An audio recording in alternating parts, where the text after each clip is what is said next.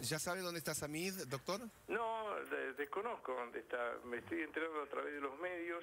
Eh, acabo de escuchar a, a la periodista, a su colega, de que la ministra habría dicho de que salió del país. Así que lo, lo tomo como fehaciente que salió del país y la ministra tiene ahí los registros respectivos. Claro. Este, yo pensé que estaba dentro de la Argentina realmente.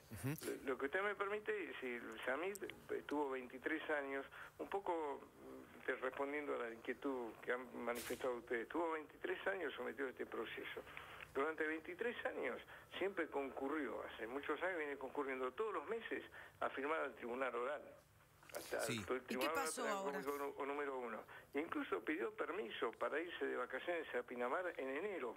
Pero, Y- y, entonces, ¿Y qué ¿por qué este cambio de 180 grados? ¿Por Claro, qué? él tenía una restricción, como tiene cualquier imputado, de libertad provisoria, o sea, no podía ausentarse del radio del juzgado por más de 80 o de 100 kilómetros, en algunos casos por más de 24 horas. Sí. Siempre cumplió, o sea, la, la prohibición de salir del país que decreta el tribunal a posteriori, cuando él deja de comparecer, porque él había manifestado que iba a concurrir en todas las audiencias cuando incluso no era O sea necesario. que usted está sorprendido por esta fuga. Claro, sorprendió a todo el mundo. Ah, usted también está sorprendido. Claro, Eh. doctor, porque usted es una familia de abogados que siempre a sus acusados le- les piden que estén a derecho. Exactamente, es cierto. Sí, sí, ¿Y va a somos seguir? todos abogados. Y usted está obligado a seguir siendo abogado de Samid. Tengo que seguir obligado, yo renuncié, pero porque él ya venía manifestando, no, no, no hacía caso, o sea, le decíamos que no podía interrumpir al tribunal y interrumpía. Fue un poco así la Ahora, cosa, ¿no? eh, Me llamó la atención el tribunal, a mí me llamó el presidente del tribunal en presencia de él para decirle, mire,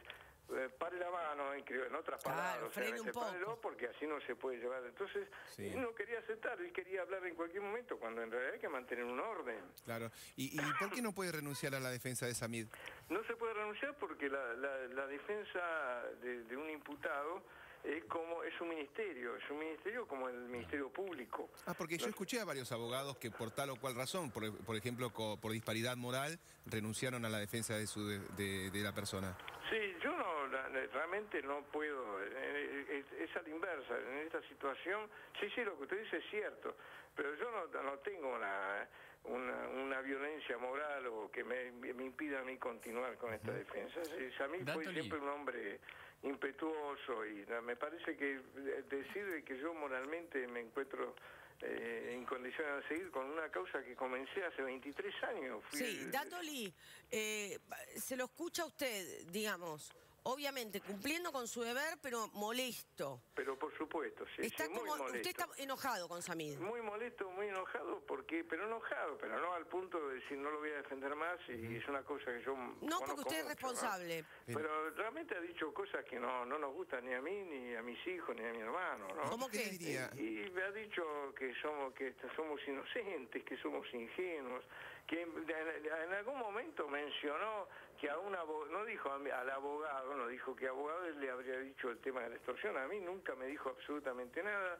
Es un es una es una sala Todas las salas ahí, hay un montón de cámaras de video, se está filmando todo, está todo filmado, Claro. hay micrófonos por todos Le había lados. dicho Si que él- le habían pedido 1.300.000 pero dólares. claro, si, si él me dice algo, yo en el momento pido la palabra, que nunca me la han negado, tampoco me la pueden negar, y le digo a viva voz lo que estaba pasando y el tribunal hubiese tomado las medidas necesarias. No Mire, doctor.